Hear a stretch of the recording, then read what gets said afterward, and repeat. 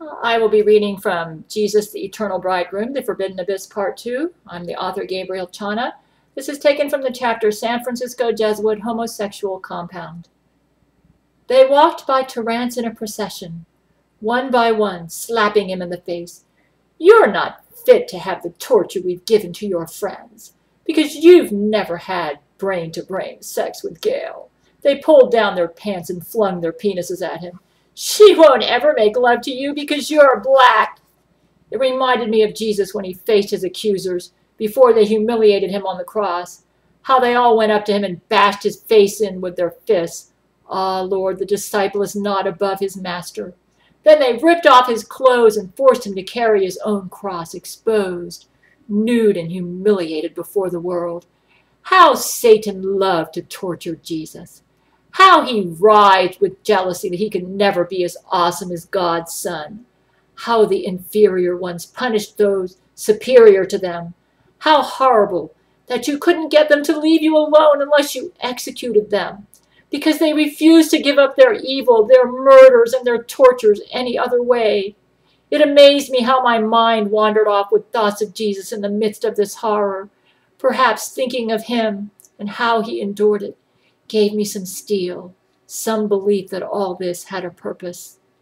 But the love I had for Gail was so awesome that it attracted the notice of Satan and his cohorts, who obsessed over defeating that awesome love, to prove that such things are fairy tales, and therefore those who follow Satan should not be punished for evil, because they can eradicate the good and replace it with evil thus trying to make evil appear good and omnipotent.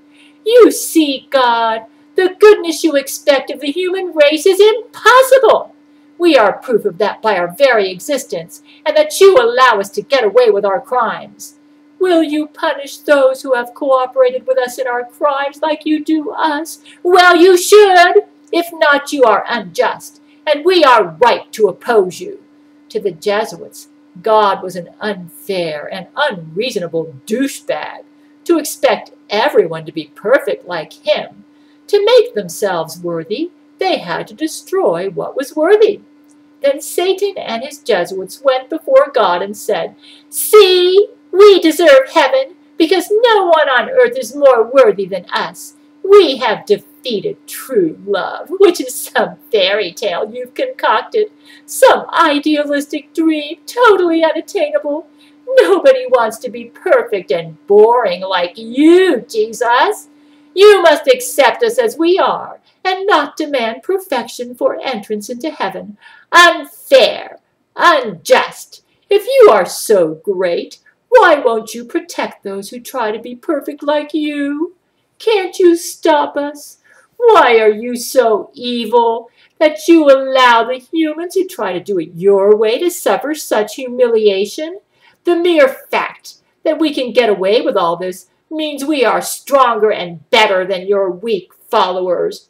And we have the right to exist as we are.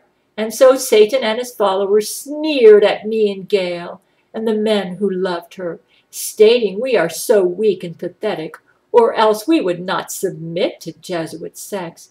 You see how they all stick their penises in us? Ha ha ha ha! We are so superior that your followers cannot resist us. We will reign. You, Jesus, are not strong enough to protect your weak followers from us. I thought of one of Gail's favorite novels, The Thornbirds. The best is only bought at the cost of great pain. Kind of ironic that it was about a Catholic priest. Then they hoisted onto Terence and thrust their penises into his mouth. I winced. It was like I was replaying September 1992 with Laurie McBride. She had expanded her torture to all my friends. I could feel that warm blast in his mouth as if it was my mouth. Making love to Laurie was like making love to Satan, who shoved his tiny eels like snakes into the head of my penis to pollute my sanctuaries and shatter my innocence. The vile imaginations of these criminals shocked me into numbness. With each intrusion into my sanctuaries, the places where I only dreamed of Gail, I felt my heart shut down. I lost all feeling and went numb. It was the only way I could stand it. My heart refused to feel. I became ice, horrified out of my senses. When you get a mortal wound, they say you know it, because all sensation leaves and you feel numb, because all the blood is drained, and there is nothing alive left to feel. That's how I felt in every way, physically, mentally, and emotionally.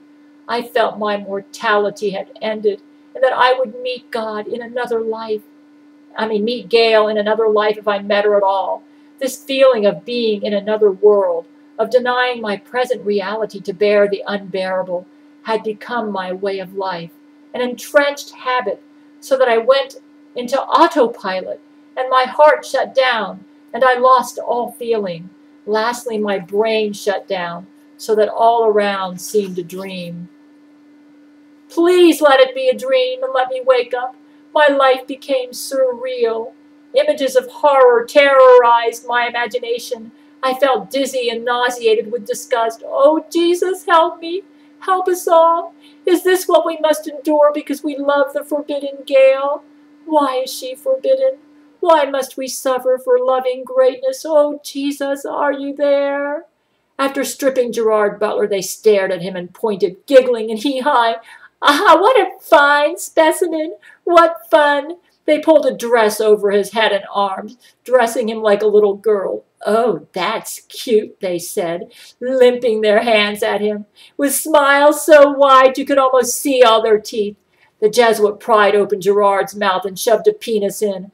Our wonderful psychiatrist would need some intervention after this.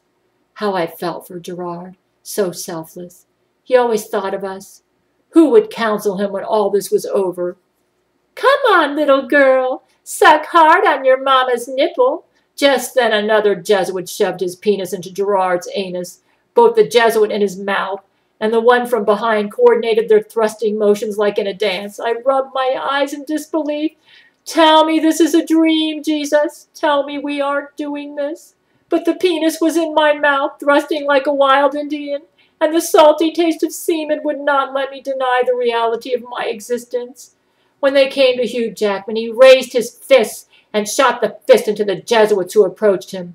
The Jesuits flew back onto the wall. About ten Jesuits then flew themselves onto Hugh and held him down. A black Jesuit with elephant legs and blubber protruding from his belly and bulges of fat on his back, shoved his rear onto Hugh's face. Bubba, they said to the black Jesuit. Teach him for beating us up. The black Jesuit named Bubba shoved his anus onto Hugh's mouth. Lick my butthole, he laughed. Ten Jesuits pinned Hugh to the floor, freezing his arms and legs. They hoisted his face onto the two balls of fat above Bubba, Bubba's legs, his rump, and shoved Hugh's face between the balls. Now lick the butthole like a good boy. They twisted his arm, and he grimaced in pain. His tongue came out, and they separated the balls of fat, exposing the xenia flowered hole. his tongue traveling over its surface. Then we heard an explosion, and brown feces, ex feces exploded onto Hugh's face and into his mouth. I could see a scowl on Hugh's face, but the Jesuits held him firm in his place, his arms and legs frozen. The Jesuits filmed us the entire time with cameras and movie equipment. It reminded me of my time at the San Francisco Zoo when Laurie raped me, raped me with elephants, eels, and God knows what else in September 1992. So you, you see, people, this is from my book. Boy, if I had a time making this video. Jesus, the Eternal Bridegroom. I'm reading you from it. This book goes really deep into the hearts and souls of Jesus Christ, 21st century disciples, which are me and my men.